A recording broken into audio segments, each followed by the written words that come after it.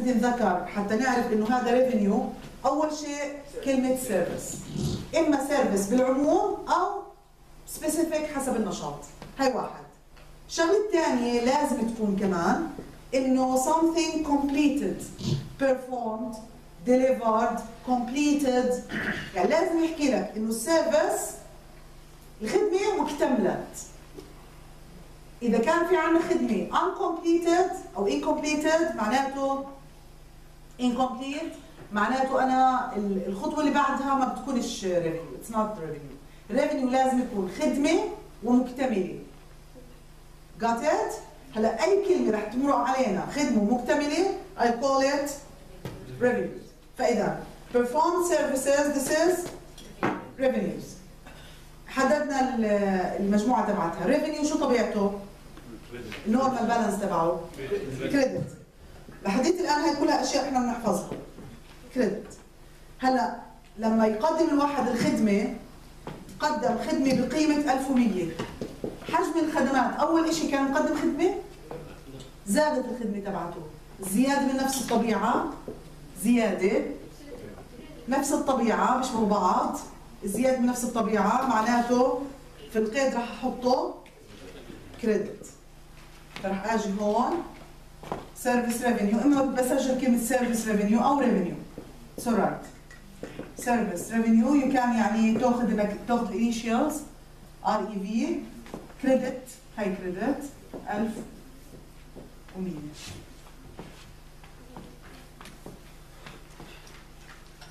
كمان قاعدة رح ناخذها لقدام شوي. إنتو آه، خلال الفصل رح تاخذوا تحديدا أربع أنواع من القيود.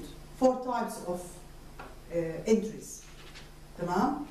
ثلاثة منهم إجباريات. Obligatory. وواحد optional. ال optional هو بسموه ال correction entry يعني إذا غلطت كيف تصلح؟ فنتركه شوي ال correction لأنه exception هذا. رح تاخذوا ثلاث types of entries أول entry أنتوا عم تاخذوه اسمه journal entry هذا أنتوا بتتعلموه. They call it journal entry.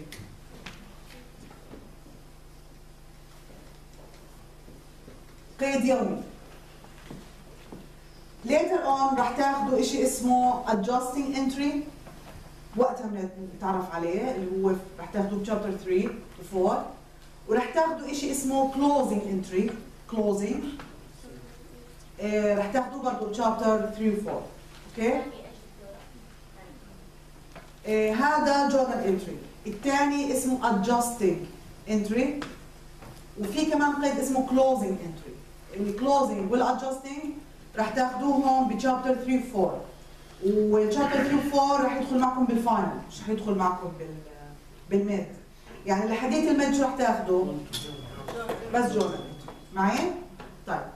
هلا كقاعدة عامة خذوها هاي واحدة من الأشياء بلخص لكم إياها لاحقا. قلت لكم إذا كان في عندنا كاش بالقيد بلشوا بالكاش صح؟ هلا القاعدة الثانية كمان.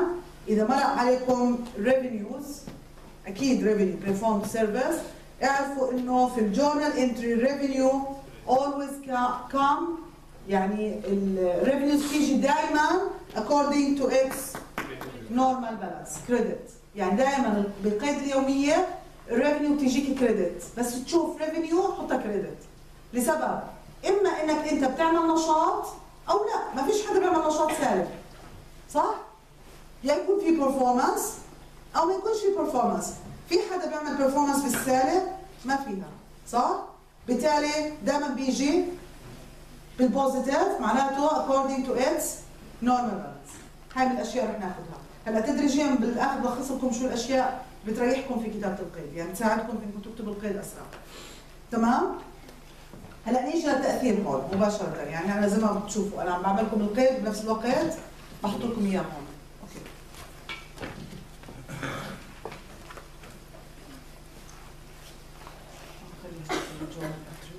إحنا عم ناخده كله هو جورنال انتريز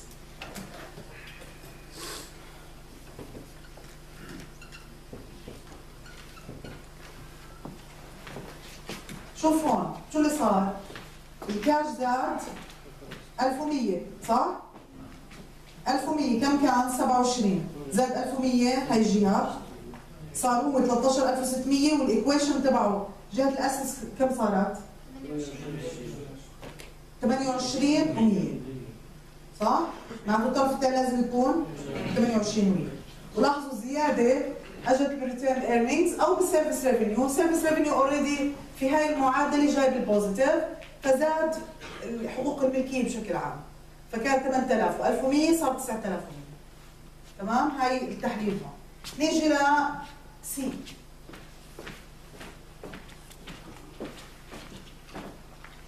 ان شاء الله هالمره التسجيل يطلع اضبط من هذيك المرة. عشان تقدر بده يراجع اللي حكيناه وصل متاخر يشوف التحليل هون. شوفوا سي شو قايلة. Paid off the beginning balance of accounts payable. لما يحكي لك كلمة paid وما يحكي لكش the method of payment we should assume in it إنه according to cash. يعني it's going to be cash يعني واحد بدفع فأنا مفترض الدفع دائما بيكون كاش فكلمة paid without anything else ما مش حكي لك شيء paid cash. فبنحطها كاش برضه فعنا هو قايل paid فأنا I assume إنه كاش فيش دفع ثاني يعني عادة الإنسان بدفع بالكاش هلا إذا حكى لي حط لي كلمة ثانية جنبها بنحكي وقتها. أوكي هلا paid cash beginning balance of accounts payable. يعني قديش كان رصيد ال accounts payable بالأول. ومش معطيني figure أنا بدور على figure هلأ ال beginning balance لل هاي شايفين ال balance ال beginning balance لل accounts payable قديش؟ تحته. شايفين تحته شو مكتوب؟ 4000 طيب خلينا نكمل. الكاش شو هو؟ شو ال category تبعه؟ اللي اجوا متأخرين. انتبهوا دائما بنحدد الحساب ونحط تحته شو الست أنواع اللي اخذناها assets liabilities expenses revenues capital withdrawals. هلا الكاش اتفقنا على إنه دائما assets. أي شيء مر عليكم هون بضل نفس الطبيعة. في الامتحانات بتيجي نفس الشيء نفس اللي بتاخذوه. ال cash assets. والاسس طبيعتها إنه هو balance debit هلا هو حكي لي إنه ال 4000 paid paid يعني قل صح؟ كيف؟ قل معناته عكس؟ ال debit عكسه يعني دائما بنشوف شو طبيعه وإذا كان نقصان بنعكسه فهو طبيعته debit طالما نقص معناته شو بنحطه؟ credit. فال cash بالقيد مرة بيجي debit مرة بيجي credit حسب. مش شرط يكون دائما debit فإحنا الطبيعة بنحفظها بس بالقيود بيختلف الوضع حسب ال transaction. ففي عندنا C أنا حبلش شو فوق رح بلش بالقيد على رغم ما كملتوش. بس كأنك بتعبي فراغ تكون عرفت الطرف بيجي الطرف الثاني فأنا بدي أترك بدي أترك طرف ال debit بدي أروح على ال credit. أكتب إنه كاش لاحظوا إنه بنترك space في في الكتابة لما نيجي نكتب ال credit side فبدي أحط الكاش كم نقص بقيمة 4000 هون فراغ نشوف شو هو. وهي يجوز من أصعب الأشياء بتمر على الطلاب اللي هي المسميات تبعت ال accounts receivable وال accounts payable ال accounts payable خلينا نشرحها شو هي. هي الشركة تبعتنا. الطرف الثاني الطرف الثاني هو قايل لي إنه دفع ال accounts payable ال accounts payable ممكن تختصروها مسماها A backslash P في ناس بيكتبوها A A backslash P It's the same accounts payable تمام طيب. هلا هاي الشركة تبعتنا كلمة accounts. طبعا ال accounts payable هي liabilities. عشان بس اتذكر هي liabilities وال liabilities طبيعتها طبيعة تبعتها credit أوكي خلينا نشوف شو هي ال accounts payable. كلمة accounts بالعربي بسموها حسابات أو ذمم بسموها أوكي؟ هلا كلمة accounts تعني ال others مش إحنا قلنا في ال economic entity assumption انه we should separate between our entity شركتنا وما بين طرفين صح؟ ال owners وال others ال others هي الشركات الأخرى. هلا كيف نعرف إنه هذا others مش صاحب المشروع. يعني صاحبة المشروع إحنا عارفينها اسمها ماري. هو قايل لي accounts أو بيعطيني اسم ثاني بخلاف ماري. فهذا others. تمام؟ فال others ال others بسموهم accounts. لهون تمام؟ بما. هلا إذا أنا I'm going to pay for them يعني أنا هون شو اللي صار؟ هدول بيكونوا حسابات سابقة والتزام علي. Liabilities التزام يعني أنا علي مبلغ لازم ادفعه هلا اذا I'm going to pay for them I'm call, I call them accounts payable اذا I'm going to receive from them I call them accounts receivable هذا هذا the difference فالاذرز we call them accounts if I'm going to pay for them I call them أنا بدي ادفع لهم بسميهم accounts payable أنا I'm going to pay for them. Payable. تمام؟ بالمقابل الاذرز رح ناخذها بعد شوي. إذا بدي أسلم منهم receive from them I call them accounts receivable. هلأ دائما إيه أنت لما تدفع لواحد تدفع لواحد عليك التزام. يعني you owe them. يعني أنت إيه في التزام عليك you are going to pay for it. هلا لما أنا يكون علي التزام بقيمة 4000 وأدفعه بالكامل أسدده. بقل الالتزام اللي علي ولا بزيد؟ بقل. كان 4000 صار صفر. يعني إذا مش عارف بقل ولا لا شوف قبل وبعد. قبل كان علي التزام 4000 وشو قايل؟ paid off paid off يعني سدد بالكامل هي paid off. The beginning balance of accounts payable. سدد بالكامل الالتزام اللي عليه. كان علي 4000 صار علي صفر. معناته شو صار في الالتزام اللي علي؟ قل. قل. يعني ال accounts payable نقصت بقيمة 4000 وال accounts receivable شو طبيعتها؟ credit ودائما النقصان عكس الطبيعة صح؟ عكسها. فإذا كانت هي credit وإحنا بدنا نعكسها صف يعني بالسالب معناته بتصير ديبت فهذا الحساب بده يصير ديبت في القيد أنا عم بشرح لأنه لقدام إذا مرقت علينا كمان مرة نتذكرها دائما always accounts payable liability. دائما accounts payable liability. بس تذكروها عشان تعرفوا التزام ولا لا. I'm going to pay for them. هذا التزام علي صح؟ يعني الواحد بيدفع الشيء الالتزام اللي عليه. فعنا هون ممكن نحطها هيك. Accounts payable debit 4000 شايفين كيف شكل ال journal؟ date ال entry debit و credit side هون بال debit بنحط ال currency وبال credit وال reference رح نجي له بعدين.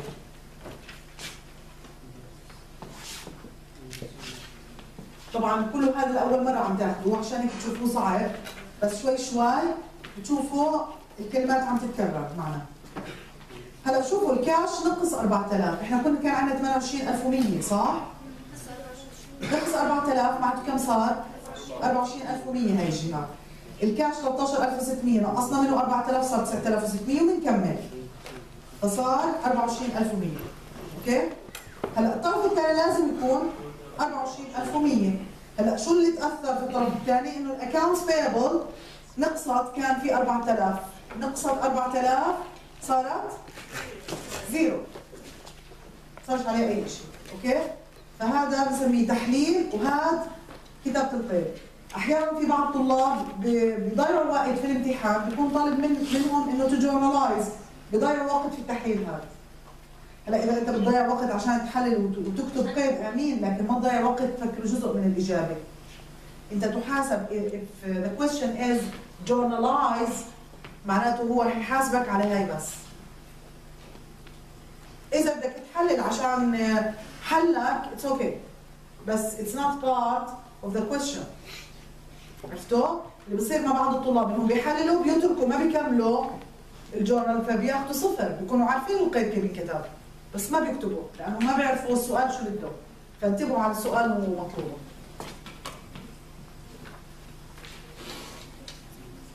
نيجي لدي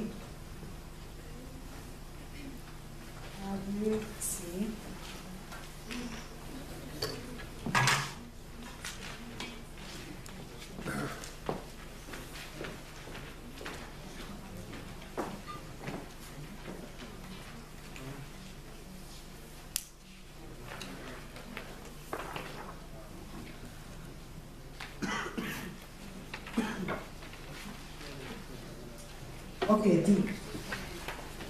purchase supplies from office max on account 700 يعني هذا شوي طاف يعني شوي أصعب من المرة. كله صعب. بتعرف شو صعوبته هاد؟ ما في كاش الكاش لما يظهر عندك في القيد كثير بسهل وحتى في طلاب بياخذوا علامات في في ال mid في القيود اللي فيها كاش اللي فيهاش كاش بتلاقيهم ما بيجاوبوهاش صح فالكاش كثير بتريح. صعوبة هذا السؤال هون إنه فيهوش كاش فرح نبلش شوي شوي نحلله.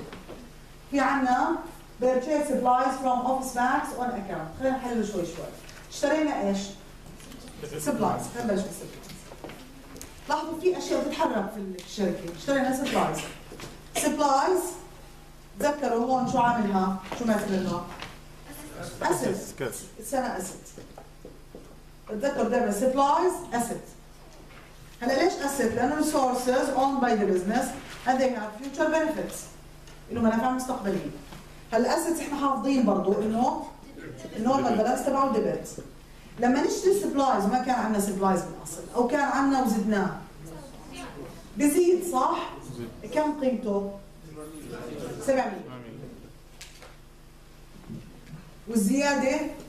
من نفس الطبيعه معناته شو رح يكون؟ ديبت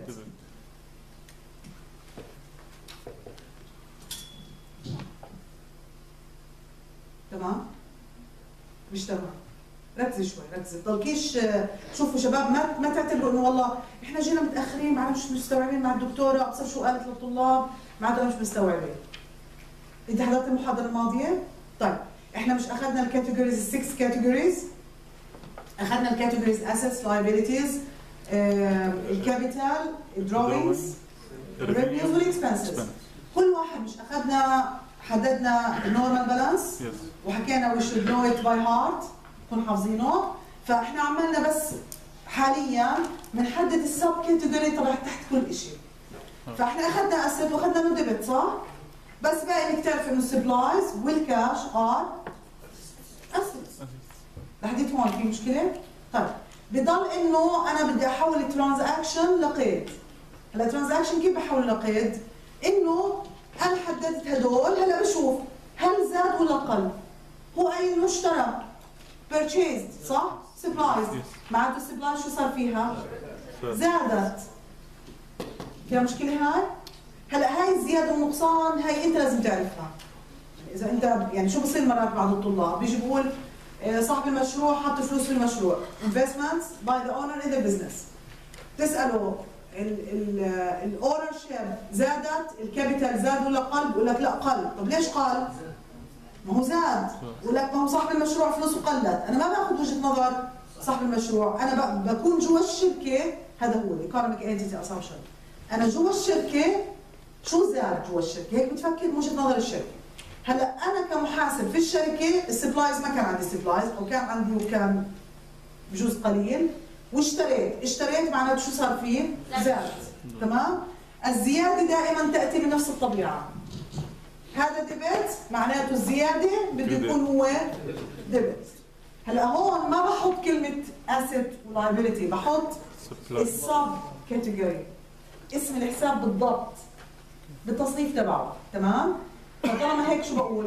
debit supplies باجي على القيد القيد طرف مدين ودائن debit و credit at least طبعا هذا بنسميه ال simple entry القيد البسيط.